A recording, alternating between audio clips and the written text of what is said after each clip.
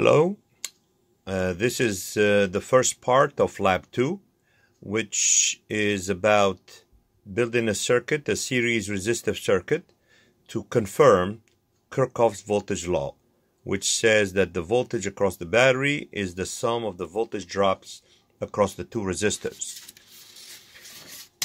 As you see here, the circuit diagram shows how the connections are made the positive side of the battery is connected to one resistor, in this case the 1 kilo ohm, measured to be 980 ohms. The other terminal of that resistor is connected to one terminal of resistor R2, the 220 ohms, but measured to be 217. And the other terminal of resistance R2 goes back to the negative of the battery. So this is how you should build your circuit by following the circuit diagram. So in this case, as you see, the positive side of the of the battery, which in this case is the pin 3 of the voltage regulator, which provides us 5 volts, is connected to a resistor, or in this case the 1 kilo ohm. The other terminal is connected to resistance R2, and the other terminal of R2 is connected to the negative of the power supply because the blue line is the negative and the red line is the positive of the power supply.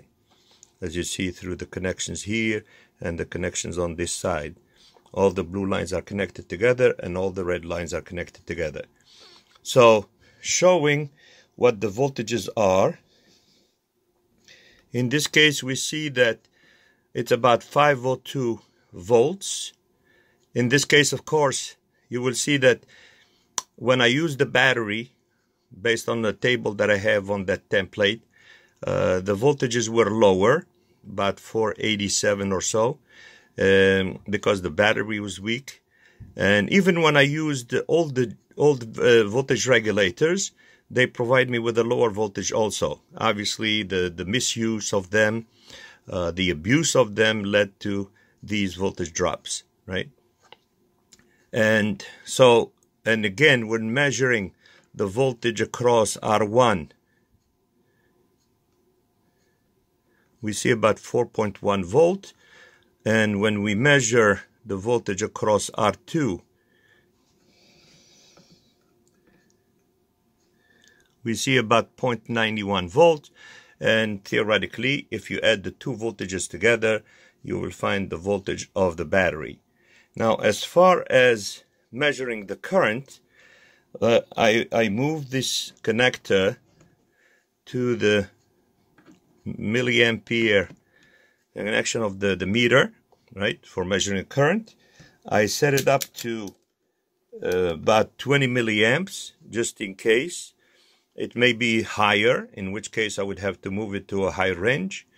Uh, and if it's lower, lower than 2 milliamps, then I could probably get more resolution, better resolution with the 2 milliamp range.